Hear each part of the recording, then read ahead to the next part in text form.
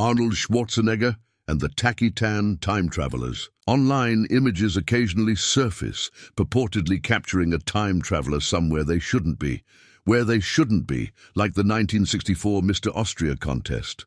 These two sloppy, bottle-tan contestants look out of place, but would fit in perfectly with the foolish-looking contemporary fake tans permeating today's contest stages. How were 60s and 70s bodybuilders like Arnold, Dave Draper, or Ken Waller able to compete successfully at high levels without going through this now necessary humiliation ritual?